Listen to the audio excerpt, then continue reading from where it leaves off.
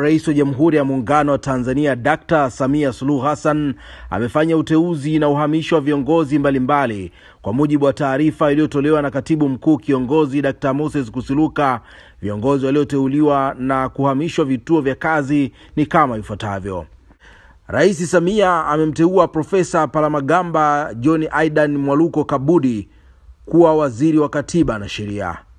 Mheshimiwa William Vangimembe Lukuvi ameteuliwa kuwa waziri wa nchi ofisi ya waziri mkuu, sera, bunge na uratibu.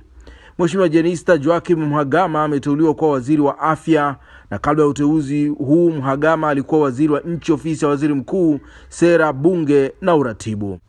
Balozi Pindi Chana ameteuliwa kuwa waziri wa mali asili na utalii, na kabla ya uteuzi huu Chana alikuwa waziri wa katiba na sheria. Anachukua nafasi ya Angela Kairuki ambaye ameteuliwa kuwa mshauri wa rais. Uteuzi wa mwanasheria mkuu wa serikali, naibu mwanasheria mkuu wa serikali, wakili mkuu wa serikali na jaji wa mahakama rufani, Rais Samia amemteua Hamza Johari kuwa mwanasheria mkuu wa serikali na kabla ya uteuzi huu bwana Johari alikuwa mkurugenzi mkuu wa mamlaka ya usafiri wa anga TCAA.